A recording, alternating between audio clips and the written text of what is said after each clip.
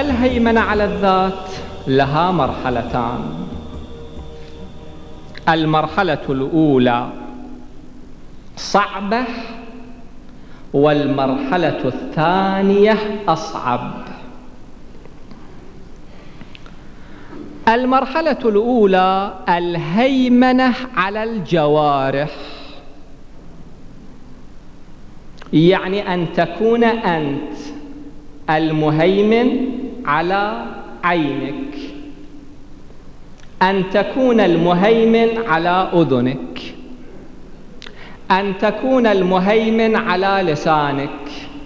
الله سبحانه وتعالى أعانك بحجابين ولسانا وشفتين. عندما تريد أن تتكلم بكلمة الغيبة فيها حلاوة. التهمة فيها حلاوة للنفوس العادية. الكلمة أرادت أن تخرج. الله سبحانه وتعالى زودك بهذين الحجابين. تسد هذين الحجابين. تطبق الشفتين إحداهما على الأخرى وتبتلع تلك الكلمة. هذا يحتاج إلى سيطرة. هذا يحتاج إلى مقاومة. الشيطان أول من يدخل في السوق وآخر من يخرج من السوق. الصائغ أو الكاسب أي كاسب في السوق؟ مرت أمامه فتاة. النفس تنازعه إلى النظر. ولكن الله سبحانه وتعالى كما في الحديث الشريف أعانك بالجفنين تطبق إحدى الجفنين على الأخرى أو تغض قل للمؤمنين يغضوا من أبصارهم. إذا ما تغمض عينك غض من عينك يعني ألق بنظرك إلى الأرض. هذا يحتاج إلى سيطرة. يحتاج إلى هيمنة. هذه المرحلة الأولى. الهيمنة على الجوارح. المرحلة الثانية التي هي الأصعب.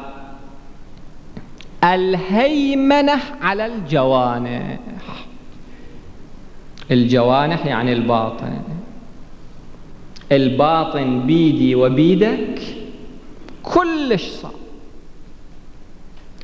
الإنسان بالتوكل على الله سبحانه وتعالى وبالتمرين المستمر هذه القضايا تحتاج إلى تمرين. كل شيء في الحياة يحتاج إلى تمرين. الرياضة البدنية تحتاج إلى تمرين. المرتاضون يتمرنون على قضايا معينة في البداية صعبة.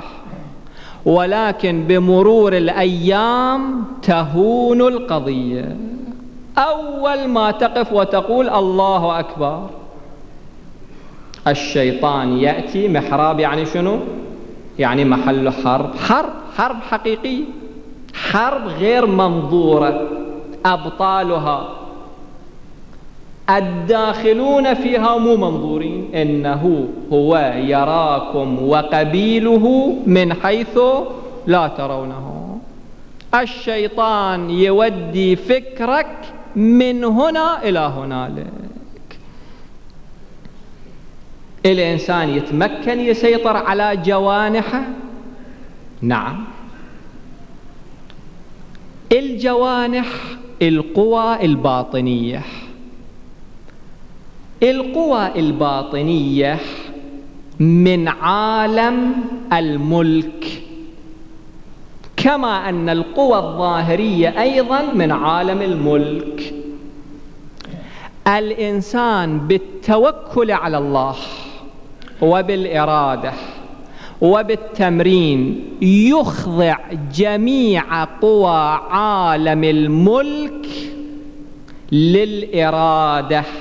التي هي من عالم الملكوت.